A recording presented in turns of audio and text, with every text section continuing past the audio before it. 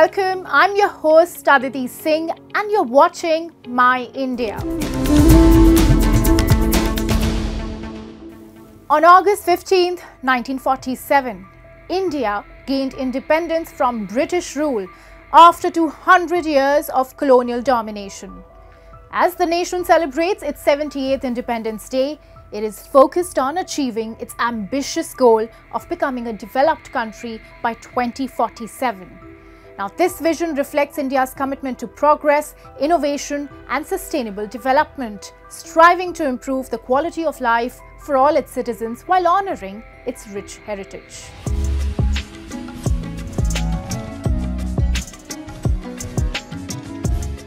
In celebration of the spirit of freedom, prosperity, and unity, Indian citizens are proudly marking the 78th Independence Day with vibrant tricolor tattoos, symbolizing their deep pride and commitment to their nation. Today, Indians take immense pride in living in a country that is not only one of the world's fastest growing economies, but also a leader in space technology. India's growing political influence on the global stage solidifies its role as a key player, shaping international relations and driving global progress with dynamic fervor. मैं बहुत खुश हूँ। मैं आगे देख रहा हूँ कि देश हमारा आगे जा रहा है और हमारी जो रिस्पेक्ट है इंटरनेशनल लेवल पे, वो बहुत ज़्यादा है। और काफ़ी इम्पैक्ट पड़ा है। इवन हम कभी भी मेरे कई रिलेटिव्स बाहर रहते हैं। रिसेंटली कल मैं अपने मामा से ही बात कर रहा था यूके में रह रहे हैं।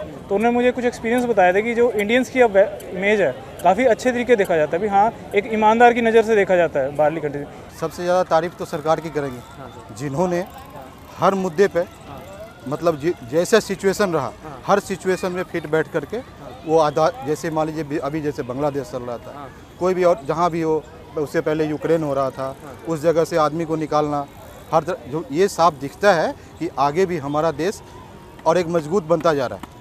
ये देख करके दूसरे कंट्री वाले भी हमसे घबराते हैं कि बोला नहीं नहीं सही बात है अगर भारत हर जगह जाकर इन्वॉल्व होकर के उन कामों को बाहर करके लेके आ जाता है और अपनी आज़ादी निकाल सकता है तो आने वाले देश में हमारे जो टाइम आएगा उस समय हमारे मतलब जितने भी युवाएँ होंगे वो युवा की मतलब कि युवा शक्ति जैसा होता है वो बन के आएगा सामने Bharat. India's ambitious vision for 2047 centers on becoming a developed nation through a comprehensive blend of economic and social reforms. The roadmap includes accelerating industrial growth, driving technological innovation, and overhauling infrastructure. Investing in education and healthcare stands at the forefront, alongside a commitment to sustainable development and digital transformation. The government is focused on improving the ease of doing business to attract global investments. Policies are crafted to address poverty, boost employment, and uplift the quality of life for all citizens. By leveraging its demographic dividend and a burgeoning middle class, India aims to harness these strengths while tackling challenges like inequality and environmental sustainability. The journey towards development is not just about growth, but also about fostering inclusivity and resilience for a brighter future. मैं कहना चाहूँगा, भारत के लिए golden era है। वैश्विक परिस्थितियों की तुलना में भी देखें, ये गोल्डन एरा है। ये हमारा स्वर्णिम कालखंड है। मेरे प्यारे देशवासियों, ये अवसर हमें जाने नहीं देना है। ये मौका हमें जाने नहीं देना चाहिए।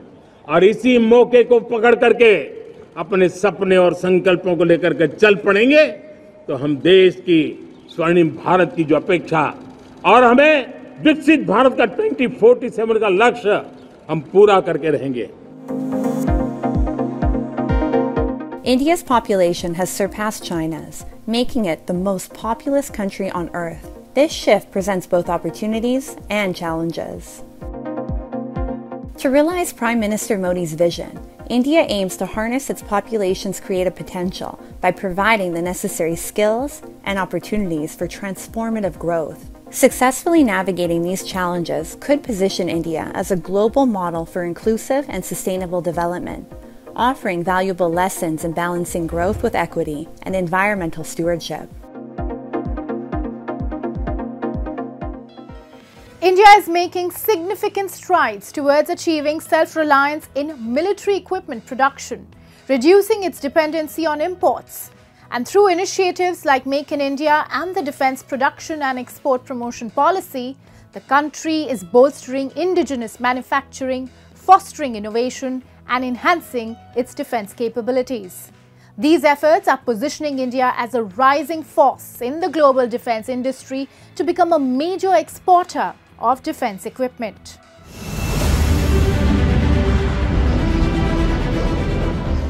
In India's largest multinational military exercise, Tarang Shakti, the indigenous light combat aircraft Tejas stole the spotlight, flying alongside the Rafale and Eurofighter Typhoon. At the Sulur Air Base in Tamil Nadu, Tejas captivated military leaders, earning high praise from the Air Force chiefs of France, Germany, and Spain. For the first time, the Defense Aviation Expo featured participation from five defense public sector undertakings, 20 private companies, 20 micro, small, and medium enterprises, and 16 startups, all leveraging foreign investments and promoting indigenous exports. This expo presents a significant opportunity for European investments to enhance India's defense manufacturing ecosystem and strengthen its position as a global defense player. We were very happy to be able to, to fly uh, alongside uh, Indian uh, aircraft such as uh, Tejas. Uh, our pilots were able to fly uh, in board the, the Tejas. It was a great experience for them and it's uh, very interesting for us to fly, to perform uh, air operation with uh, different aircraft and aircraft that we are not used to fly with, for example the Tejas. The DRDO is developing the Advanced Medium Combat Aircraft to boost India's self reliance in defense. This initiative aligns with the Atmanirbhar Bharat, or Self Reliant India mission, emphasizing indigenous technology and innovation. AMCA is the 5.5 generation fighter. It's a stealth aircraft. We have just started the development process. The design is now complete. And we hope to complete our development trials by 2034 and it should get inducted by 2035. This is truly a world-class fighter. There are very few countries which operate stealth aircrafts and India will be one of the few countries who will be able to develop a stealth aircraft. So it is going to be a very proud moment when the development is complete. India is exporting military hardware to about 85 countries, involving around 100 local firms. The country aims to achieve its defense export target of $6 billion in the next five years. India's export of the BrahMos missile to the Philippines underscores its growing defense export potential and strategic partnerships. Co developed with Russia, the supersonic cruise missile reflects India's advanced defense capabilities and its commitment to international standards. This move is part of India's broader strategy to boost defense exports and reduce reliance on imports. The country now exports a range of military hardware, including missiles, artillery guns, rockets, armored vehicles, patrol vessels, protective gear, radars, surveillance systems, and ammunition. The government is promoting public private partnerships to expand defense exports to over 100 countries. DRDO is uh, aimed and objective of DRDO is to develop the latest products and what products can be produced by the industry, they should do it. So that you know, all the major products under, are undergoing development come production partner. So we'll identify one uh, big industry player uh, and he will produce all the military hardware which we have designed and we are able to transfer the technology to them. In April, India's Defense Ministry announced a 32.5 increase in defense exports for financial year 2023 to 2024, surpassing 2.5 billion for the first time ever. This marks a significant rise from the previous year's 1.9 billion and reflects a 31-fold growth over the past decade. India's focus on indigenous technology and manufacturing aims to reduce reliance on imports and boost its global defense equipment presence.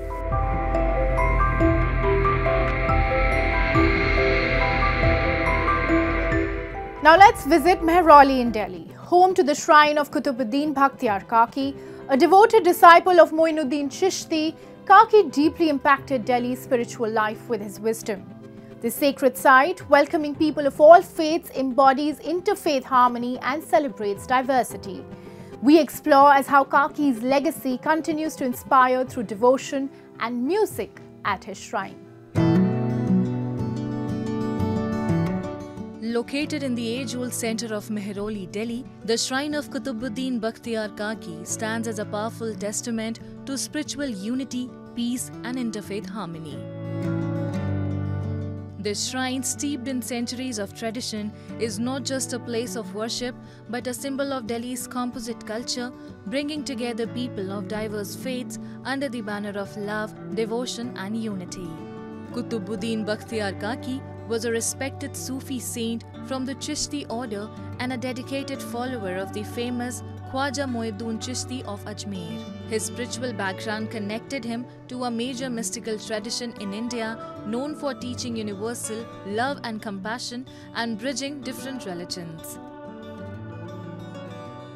यहाँ मैं बहुत सालों से आ रही हूँ यहाँ पे आके दिल को सुकून मिलता है और जो फैज जो होता है फैज मांगते हैं लोग जो दिल से मांगते हैं देने वाला तो ऊपर वाला है बट ज़रिया किसी ना किसी का होना चाहिए तो हम लोग यहाँ आते हैं यहाँ से हमारा फैज हमें मिलता है हमारी झोलियाँ बढ़ जाती हैं The shrine of Qutbuddin Bakhtiyar Kaki stands as a shining example of communal harmony, embodying the essence of unity and mutual respect. The sacred site transcends religious differences, creating a space where people from various backgrounds and beliefs can unite in peace and understanding. Its enduring legacy serves as a powerful reminder of the strength found in embracing diversity and nurturing interfaith connections.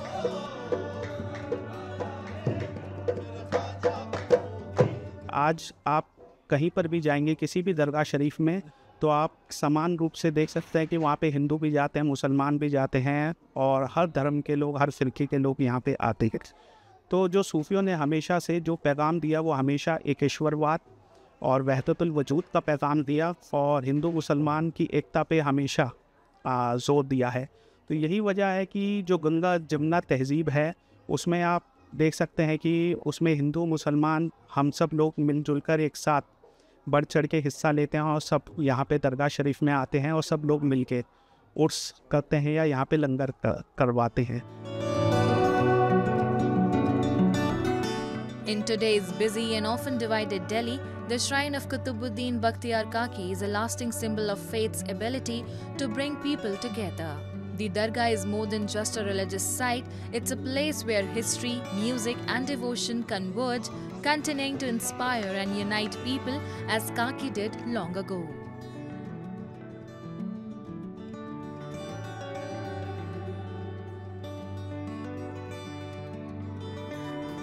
Now let's delve into World in Focus, featuring the latest global developments and events shaping our world.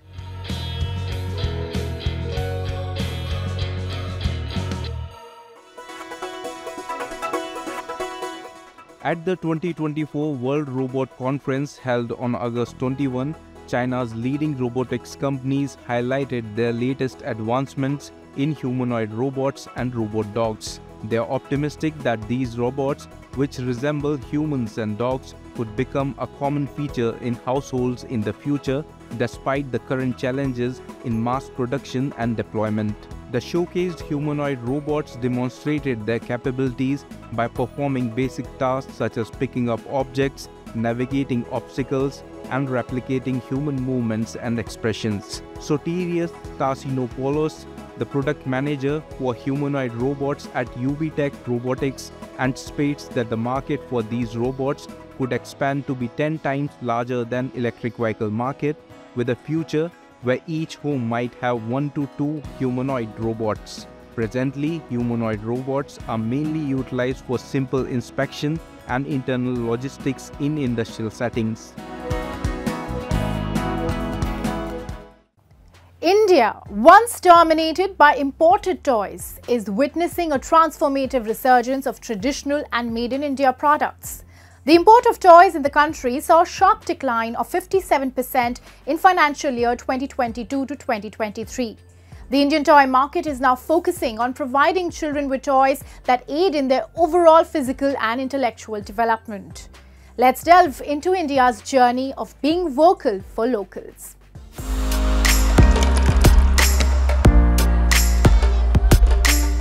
Building blocks, puzzles, dolls, and stuffies.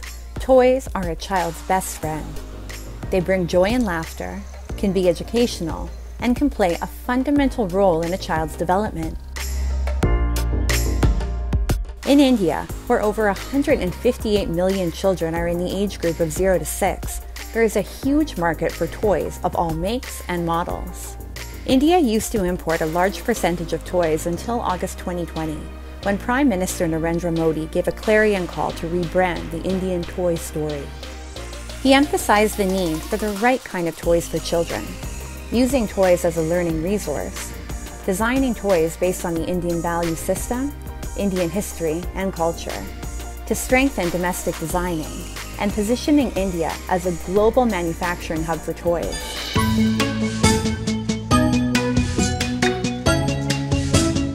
The government devised a comprehensive action plan to boost local manufacturing and make India the global toy hub by incentivizing the manufacturers. The dividends soon emerged. As an outcome, the Indian toy industry witnessed remarkable growth in financial year 2022 to 2023 in comparison to financial year 2014 to 2015, with the exports of toys surging by an impressive 60% from 203.46 million in 2018 to 2019 to 325.72 million in the fiscal year 2022 to 2023.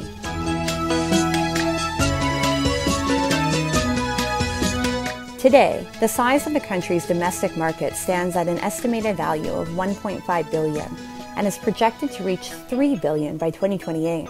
The sector is fragmented, however, with 90% of the market lacking organization and 4,000 toy industry units from micro, small, and medium enterprises. There is even more room for growth. This is very true that India has uh, uh, really ramped up its production and uh, stopped the imports from China. This is mainly because of the implementation of the BIS standards for toy safety and those being put under the QCO and now uh, for uh, shipping to India any Chinese factory will first have to get themselves approved. This method applies to all the uh, for if we want to sell to China also. So uh, the Indian toy industry has managed to do this primarily on account of uh, the QCO and uh, this is just the beginning. I think because of the QCO the Indian industry has realized that they can do a lot more products than they thought that they were even capable of and uh, I think in the future they are going to have much more, uh, uh, they're going to grow much more than this. With a revival of centuries old traditional art forms like Channapatna toys of Karnataka, the Indian toy industry today is offering a green alternative to world away from harmful plastics and other man-made chemically ingrained play items. We will take you to the toy town of Karnataka, Channapatna, where the artisans have been meticulously crafting eco-friendly toys for thousands of years, ensuring a sustainable and playful future for children.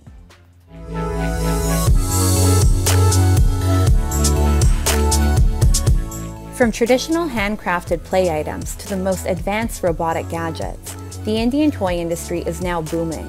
Today, where the world market is dominated by harmful plastic toys, the Indian toy industry is thriving to offer the world a sustainable alternative to cater to their demands.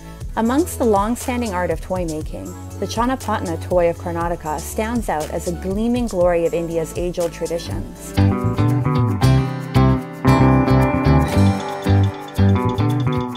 Channapatna, often regarded as the toy town of India, is known for its vibrant and intricately handcrafted wooden toys. These toys are often coated with a non-toxic natural lacquer and dyes extracted from vegetables and trees. In a step towards an eco-friendly environment, for centuries these artisans have meticulously crafted these wooden toys, carrying forward the legacy of their forefathers. Hundred years से है business ये है हमारा four father से चला का है अभी फोर्थ जनरेशन का है बिजनेस ये अभी हम हैंड ओवर कर लेके जा रहे हैं अभी इधर एक है फ़ेमस चनपटना टॉयस है, ये पूरा लैकरिंग टॉयस आता है with non lead chemical with आता है।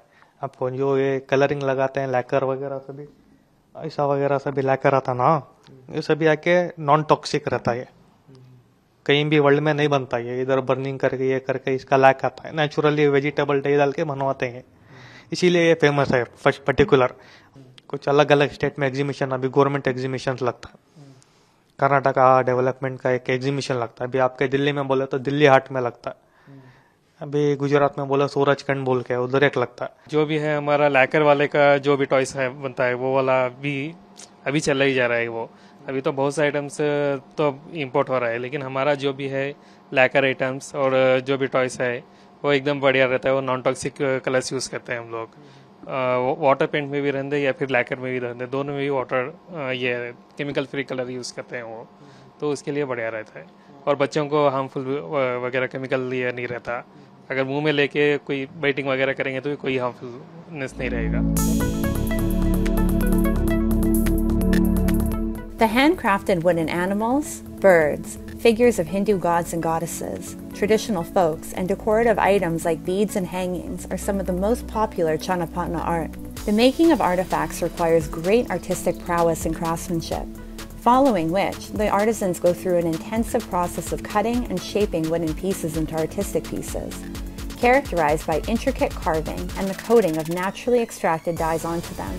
Instances like these not only showcase the significance of Indian traditional crafts, but also help in achieving sustainability goals, making it a win-win for both people and the planet. Creating sand art is a unique way to express creativity and connect with nature. Today we meet Sudarshan Patnaik, a renowned artist who has elevated sand into an extraordinary art form, earning global acclaim and making India proud.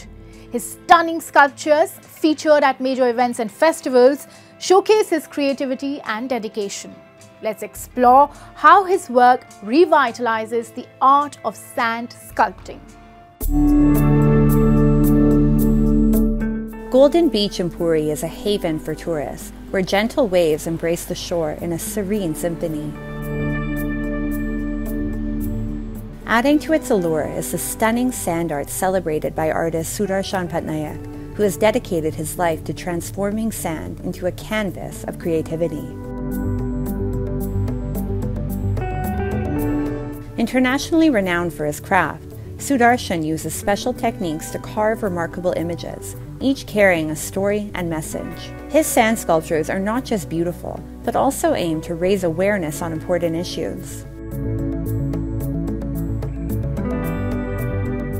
Today, his latest creation highlights an environmental message, sparking conversation and reflection. देखिए ये nature art हमने बनाया। I love nature तो हम हमारा nature को कितना affection से जुड़े हुए हैं।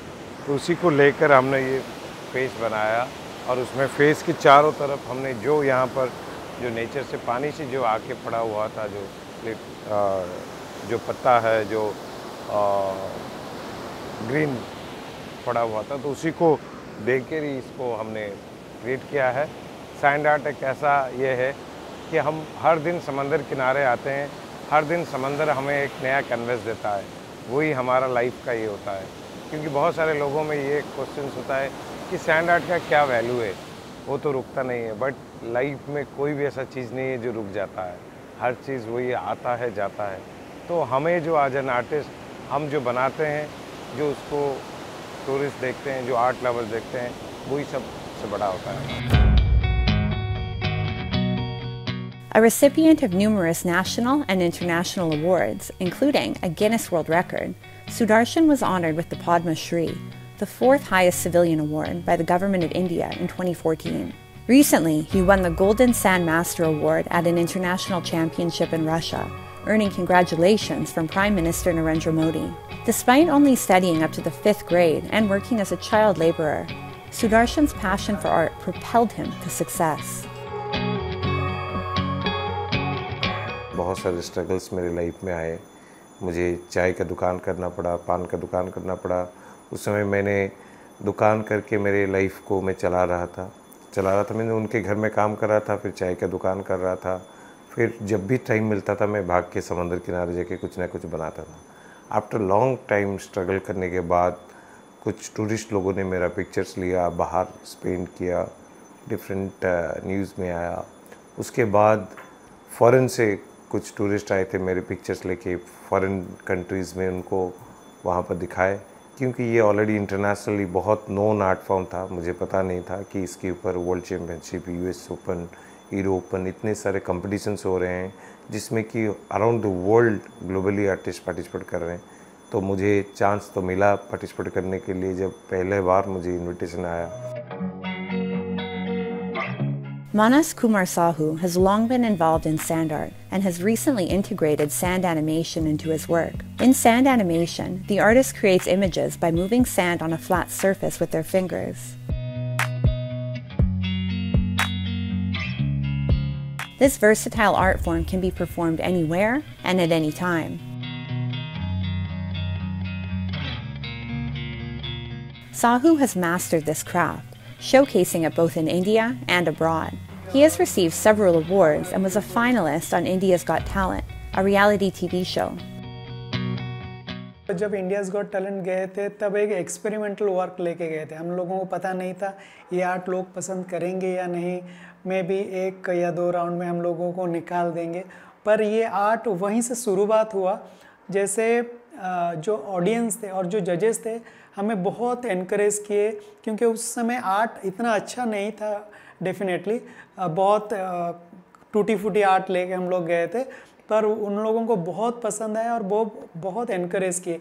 तभी से सैन एनिमेशन हम लोग प्रैक्टिस करते करते आज बहुत सैन एनिमेशन डेवलप हो गया है और लोग बहुत पसंद कर रहे हैं इस आर्ट फॉर्म को।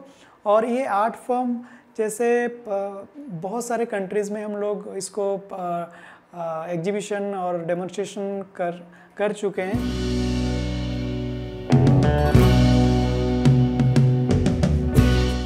Manas didn't keep this art to himself. He also taught his wife, Pranati Prasti. Now, they perform sand animation together. Recently, they showcased their work at the Nita Mukesh Ambani Cultural Center.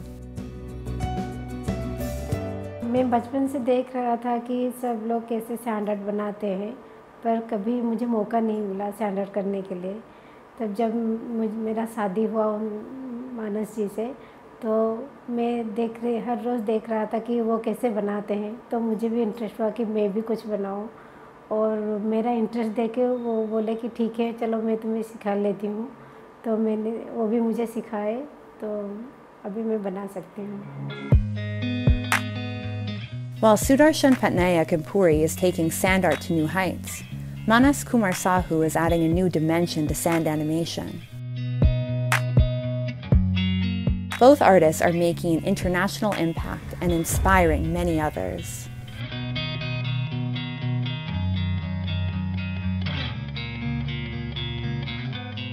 Sudarshan Patnaik, acclaimed for his intricate sand sculptures, has gained global recognition and revitalized the ancient art of sand sculpting, inspiring artists and audiences worldwide. With that, it's a wrap on today's episode of My India, but we will see you next week at the same time. Till then, goodbye and take care.